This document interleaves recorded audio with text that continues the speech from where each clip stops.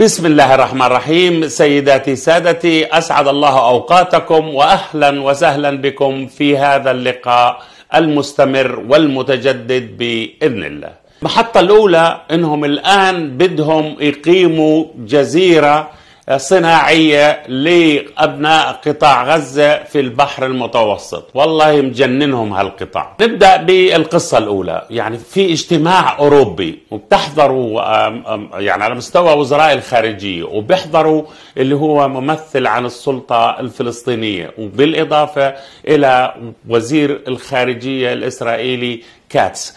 بتفاجئوا الأوروبيين اللي حاضرين هذا الاجتماع بأنه بيخرج كاتس باقتراح غير عادي إنه إحنا لازم نعمل جزيرة صناعية آه، ونرحل فيها الفلسطينيين في البحر المتوسط.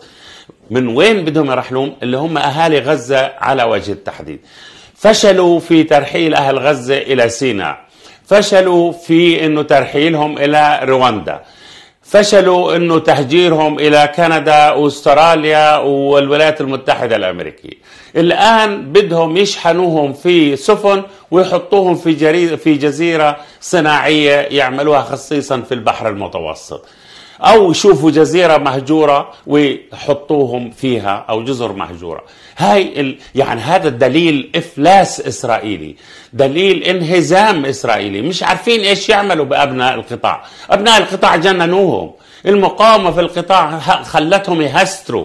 هذا الاقتراح اللي هو آه، بدأ باللي هو رئيس الصندوق القومي اليهودي. مره في اجتماع مغلق في لهيئه إدارة الصندوق اقترح رئيس الصندوق القومي اليهودي باستئجار أو شراء اللي هو 18 جزيرة يونانية مهجورة وهي تكون ملجأ أو ملاذ آمن للإسرائيليين في حالة هطول الصواريخ عليهم مثل المطر من كل الجبهات من الشمال ومن الجنوب ومن الشرق.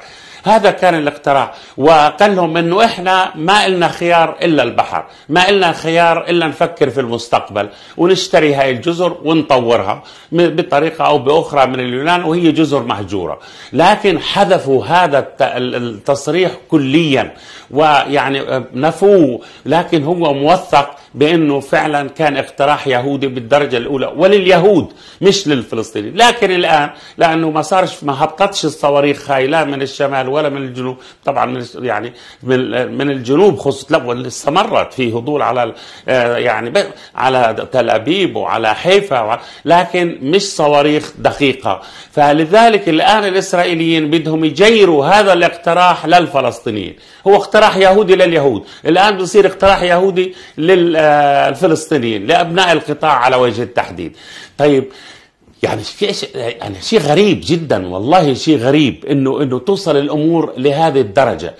إسرائيل انهزمت حقيقة فشل كل مشاريعها. هم أساسا كانوا بدهم يرحلوا الفلسطينيين بدهم يحولوا غزة لمنتجع رهيب جدا ويسرقوا الغاز اللي في غزة زي ما سرقوا جانب من الغاز في لبنان.